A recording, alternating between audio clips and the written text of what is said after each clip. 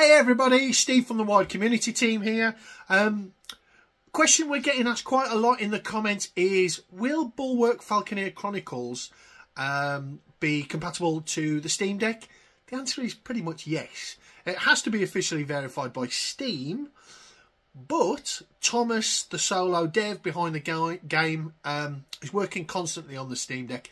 He loves that little machine and yes, even the demo, which you can go and play on Steam right now, link is in the bio, or just sort of search for uh, Bulwark Falconeer Chronicles.